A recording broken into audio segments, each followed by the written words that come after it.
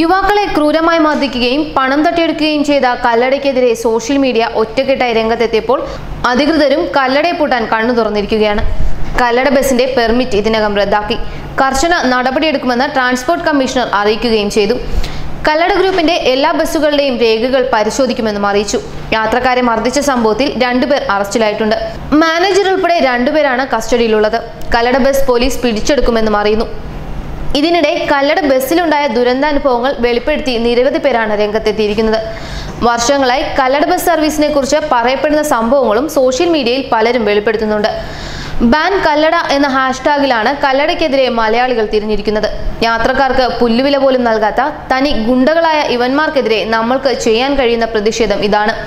Long റൂട്ടുകളിൽ ഇവരെ ഒറ്റപ്പെടുത്തുക. കഴിയുന്നതും നമ്മുടെ സ്വന്തം K S R T C അല്ലെങ്കിൽ കർണാടക ആർ ടി സി എടുക്കുക. പ്രൈവറ്റ് വേണമെങ്കിൽ ബാംഗ്ലൂർ റൂട്ടിലോടുന്ന എസ് ആർ എസ് ചെന്നൈ റൂട്ടിലോടുന്ന വൈ ബി എം തുടങ്ങിയ മാന്യതയുള്ള ട്രാവൽസ് തിരഞ്ഞെടുക്കുക. ഒരു പാർട്ടിയെ മൊത്തമായി ആക്ഷേപിക്കാനല്ലെങ്കിലും മധ്യ കേരളത്തിലെ പല പാർട്ടി ഗുണ്ടകളും ഇവരുടെ ചാവേറുകളാണ്. കല്ലട സുരേഷിന്റെ ആ സ്വാധീനം ഉപയോഗിച്ച് വാളയാറിലൂടെയും വയനാട് ബോർഡർ വഴിയും വൻ ഇടപാടുകൾ നടക്കാറുണ്ടെന്ന റൂമർ പരസ്യമായ രഹസ്യമാണ് നാട്ടുകാർക്കിടയിൽ. ഇതൊരു ലീഗൽ ട്രാവൽസ് എന്നതിനും അപ്പുറം നടക്കുന്ന ക്രിമിനൽ ഗുണ്ടായുസമാണ്. അത് അവസാനിപ്പിക്കാൻ മുൻകൈ എടുക്കേണ്ടത് നമ്മൾ തന്നെയാണെന്ന് ഫേസ്ബുക്ക് കുറിപ്പുകളിൽ പറയുന്നു. കല്ലടയിൽ കല്ലടയിൽ ആക്രമണത്തിനിരയായ യുവാവിന്റെ മൊഴിയും പുറത്തു വന്നിട്ടുണ്ട്. നീ ആരടാ കല്ലട സുരേഷിന്റെ വണ്ടിക്കെതിരെ പരാതി കൊടുക്കാൻ? നിനക്കറിയില്ലേടാ കല്ലട സുരേഷ് ആരാണെന്ന്? ഈ ആക്രോശവുമായാണ് പതിനഞ്ച് പേരടങ്ങുന്ന സംഘം ഞങ്ങളെ മർദ്ദിച്ചത് ഞാൻ ചികിത്സയിലാണ്. ജീവൻ തന്നെ ഭീഷണിയുണ്ട്. സഹായിക്കണം. ശനിയാഴ്ച കല്ലട എന്ന സ്വകാര്യ ബസ്സിൽ നടന്ന സംഭവങ്ങളിൽ മർദ്ദനത്തിനിരയായ അജയ് ഘോഷ് പറയുന്നു. ഗുണ്ടായുസത്തിനിരയായ ആ രാത്രിയെക്കുറിച്ച് അജയ് ഘോഷിന്റെ വാക്കുകൾ ഇങ്ങനെയാണ്. തിരുവനന്തപുരത്ത് നിന്ന് ബാംഗ്ലൂരിലേക്ക് പോകുന്ന ബസ്സാണ്. രാത്രി പത്ത് മണിയോടെ ബസ് തിരുവനന്തപുരത്ത് നിന്നും പുറപ്പെട്ടു. കുറച്ചു കഴിഞ്ഞപ്പോഴേക്കും ഞാനൊന്ന് മയങ്ങി. പിന്നീട് കണ്ണു തുറക്കുമ്പോൾ ഹരിപ്പാട് ആളൊഴിഞ്ഞ സ്ഥലത്ത് ബസ് നിർത്തിയിട്ടിരിക്കുകയാണ്. പുറത്ത് ബഹളം കേട്ടാണ് ഞാൻ പുറത്തേക്ക് ചെല്ലുന്നത്. കുറച്ച് വിദ്യാർത്ഥികൾ ജീവനക്കാരോട് സംസാരിക്കുന്നുണ്ട്. കാര്യം തിരക്കിയപ്പോൾ ബസ് ബ്രേക്ക് ഡൗൺ ആണെന്നും ഉടൻ പോകില്ലെന്നും വിവരം കിട്ടി. ഇത്ര രൂപ കൊടുത്ത് ടിക്കറ്റ് എടുത്ത യാത്രക്കാരെ പെരുവഴിയിൽ ഇട്ടിരിക്കുന്നത് ശരിയല്ലേ എന്നും വേറെ ബസ് ശരിയാക്കി തരണമെന്നും യാത്രക്കാരെല്ലാം ആവശ്യപ്പെട്ടു. എന്നാൽ തൊഴിലാളികൾ ഇത് കേൾക്കാൻ തയ്യാറായില്ല. അങ്ങനെ ഞാൻ ബസിന്റെ ഓഫീസിൽ വിളിച്ചു. തിരുവനന്തപുരത്ത് നിന്ന് മെക്കാനിക് വരും. എന്നിട്ട് നീയൊക്കെ പോയാൽ മതി എന്നായിരുന്നു ലഭിച്ച മറുപടി. ഇതോടെ ഞാൻ പോലീസിൽ വിവരം അറിയിച്ചു. പോലീസ് എത്തി കർശന നിലപാട് സ്വീകരിച്ചു. വേറെ ബസ് എത്തിച്ച് ഞങ്ങളെ അതിലേക്ക് മാറ്റി.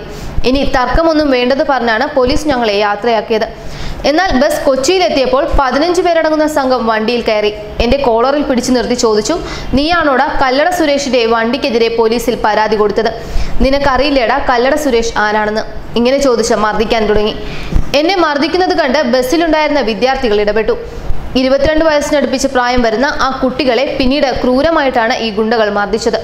ഇതെല്ലാം ആ വീഡിയോയിൽ കാണാം. ജീവന് തന്നെ ഭീഷണിയാകുന്ന തരത്തിൽ മർദ്ദനം തുടർന്നതോടെ ഞങ്ങൾ ബസ്സിൽ നിന്നിറങ്ങി. എന്നിട്ടും അവർ വിട്ടില്ല. വലിച്ചുഴച്ച് പുറത്തിറക്കി തല്ലി കുതിറിയോടാൻ ശ്രമിച്ച എന്റെ തലയിൽ കരിങ്കല്ല് കൊണ്ട് എറിഞ്ഞു വീഴ്ത്തി. എന്റെ തലയിൽ ഇപ്പോഴും പരിക്കുണ്ട്.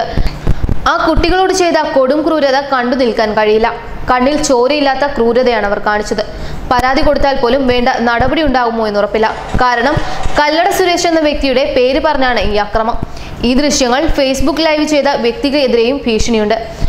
ആ കുട്ടികൾ പാലക്കാട് ചികിത്സയിലാണ്. എനിക്ക് നല്ല പേടിയുണ്ട്. അവർ ഞങ്ങളെ അപായപ്പെടുത്തുമോ എന്ന്. എന്റെ ബാഗും മൊബൈലും അവർ പിടിച്ചു വെച്ചിരിക്കുകയാണ്. ബാഗിൽ ഒരു ലക്ഷം രൂപയിൽ പുറത്ത് പണമുണ്ട്. ഇത് ദയവ് ചെയ്ത് പോലീസ് നടപടി സ്വീകരിക്കണം. ഈ ഗതികേട് ഇനി ആർക്കും ഉണ്ടാവരുത്.